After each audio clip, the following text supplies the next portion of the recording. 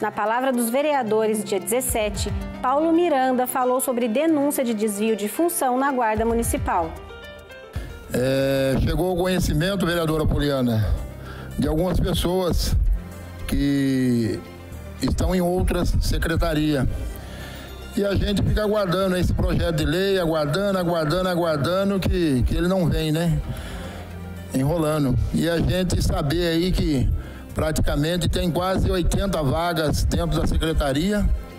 E segundo o comandante da guarda, disse que ia abrir é, concurso aí inicial de 50 vagas. Mas dizer que é, é desagradável, porque saber que tem guarda municipal trabalhando na própria Secretaria de Finanças. E a denúncia diz que eles estão ganhando aí os 30%, que é o, o 30% de risco, né? Mas ganhando sem farda, sem estar fardado, em outra secretaria. Paulo Miranda manifestou indignação sobre irregularidades da Liga Municipal de Futebol no Campeonato de Veteranos. Citou como exemplo a permissão para que um time entrasse em campo com 12 jogadores. Então fica aí a minha indignação com a atitude da Liga Municipal de Taubaté.